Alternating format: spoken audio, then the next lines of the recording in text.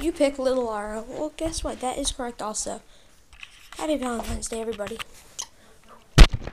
Wait, the reason we didn't show her face was because we could not find her. See you guys.